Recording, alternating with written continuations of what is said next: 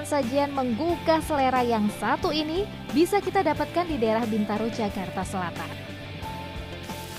Kuliner khas kota Solo ini merupakan tengkleng yang berbahan dasar tulang dan tetelan kambing. Bagian tubuh kambing yang biasa digunakan sebagai bahan tengkleng adalah kepala, iga, serta kaki. Jika kuah tengkleng biasanya tersaji dengan kuah berwarna keemasan, di kedai sate kambing satu ini berbeda. Tengkleng disajikan bersama bumbu rica-rica yang kental. Ya, perpaduan rasa pedas, manis, dan gurih tercipta dari aneka rempah yang digunakan sebagai bumbu.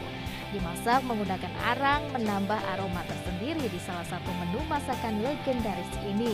Di sini tuh tengkleng ricanya bener-bener uh, yang menu paling favorit saya. Rasa rempahnya tuh berasa banget, pedas, uh, asam, manis tuh jadi satu. Porsinya banyak, besar-besar gitu.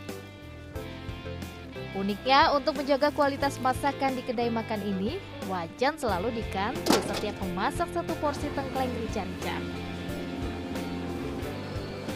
Untuk menikmati satu porsi tengkleng rica-rica ini, pengunjung pun harus merogoh kocek Rp50.000. Satu harinya, kedai ini pun bisa menghabiskan 100 kg tulang kambing untuk menghasilkan menu tengkleng dan sumsum.